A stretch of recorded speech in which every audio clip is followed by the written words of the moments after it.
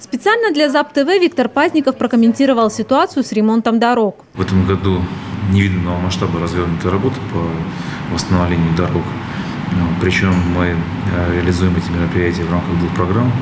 Первое – это национальный проект безопасной и качественной автомобильной дороги. Второе – это так называемая дальневосточная субсидия в рамках развития центров экономического роста. Стоит напомнить, что выбор участков дорог, подлежащих ремонту в 2019 году, проходил максимально открыто и публично. В нем непосредственно участие приняли сами люди.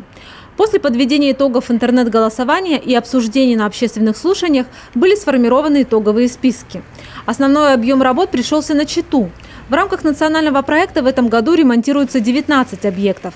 В рамках Центров экономического роста 24. Виктор Пазников назвал наиболее крупные и особо значимые для автолюбителей дороги. Конкретные участки, которые ремонтируются в этом году, это два участка по улице Ленина, это проспект Фадеева, проспект Жукова, Московский тракт, примыкающая улица к Московскому тракту.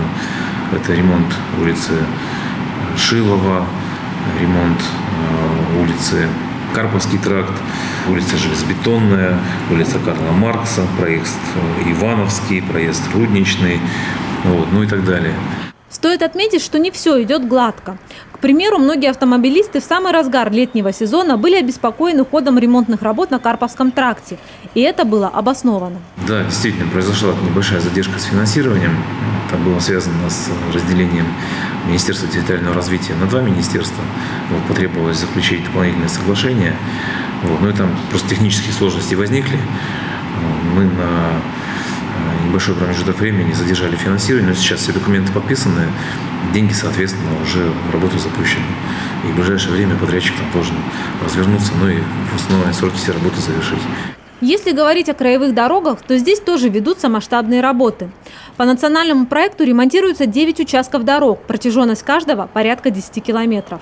Это три участка на дороге Могойто-Сретенск-Колычи, это один участок э, Краснокаменск-Мациевская, э, один небольшой участок на дороге Дороснук с границы МНР, подъезд к Дровяной, э, завершение реконструкции участка на подъезде к Беклемишево, это дорога к нашим Арахлейским озерам, это подъезд к Рульге от федеральной трассе. И Борзе Олегзавод. Кроме этого, в рамках Центров экономического роста в 29 населенных пунктах ремонтируются участки регионального и местного значения. Эти участки были определены уже чиновниками с акцентом на районные и наиболее крупные населенные пункты. Виктор Пазников рассказал о приятной и долгожданной для жителей микрорайона Октябрьский новости о начале строительства в этом году дороги Народной.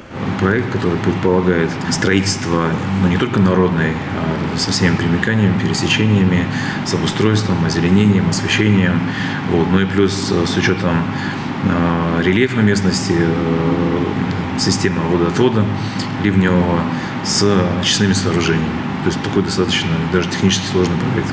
Еще одна хорошая новость. За счет экономии в размере 24 миллионов рублей уже в этом году будут проведены ремонтные работы улицы Бекетова. А вот к Новобульварной и Горького приступят не раньше следующего года. Наталья Протаковская, Николай Шумков, ЗАП-ТВ.